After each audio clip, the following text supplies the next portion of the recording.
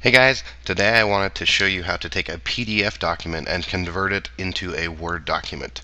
So here you can see on the screen we have a scanned version of, of a document. It is not text that we can highlight or do anything with.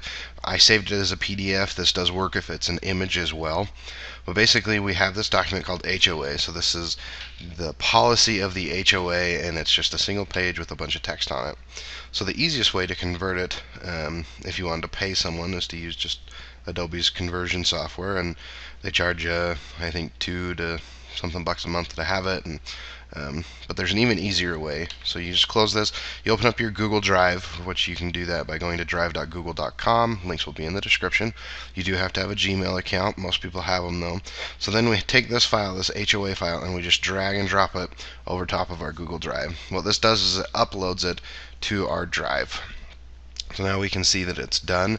We can double click it and view it. It's the same thing that we saw in Adobe Reader DC. But if we want to have it in Word, what we'll do is we'll right click, open with Google Docs.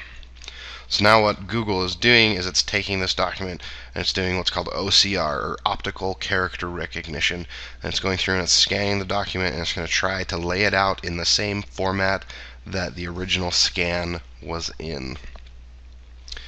So now that it's done, here at the top we're going to see our original document but if you scroll down to the bottom we'll now see a typed version of the same thing.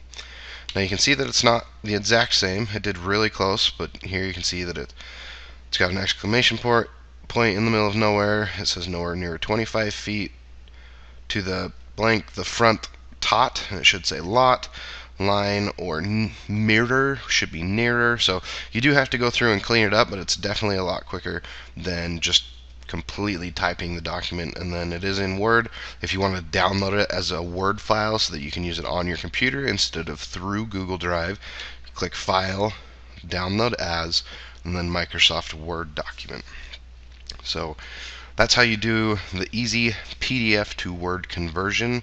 If you have additional questions or need to know how to do something on your computer, leave a comment down below. Don't forget to like this video and subscribe to our channel for more.